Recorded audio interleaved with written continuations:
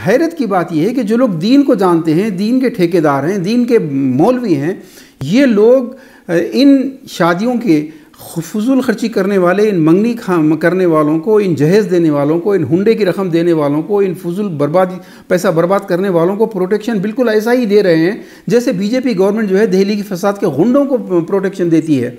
ये लोग खुशी से देने लेने के नाम पर जवाब फराहम कर दे, करके दे रहे हैं और सिर्फ़ यही नहीं कर रहे हैं। तकरीरें तो बहुत अच्छी करते हैं, जहेज़ हराम है, फजूल खर्ची हराम है वगैरह के ऊपर। लेकिन इस्लाम ने जो असल हुक्म दिया है कि जहाँ बुराई को देखो, हाथ से रोको, नहीं तो ज़बान से रोको, नहीं तो दिल से नफरत करो, और उसके बाद फिर ईमान का तो कोई दर्जा बाकी नहीं रहता। इसमें ऐसी शादियों में शिरकत करना सबसे बड़ा जुर्म है। लेकिन ये लोग प्रोटेक्शन दे रहे हैं उनको।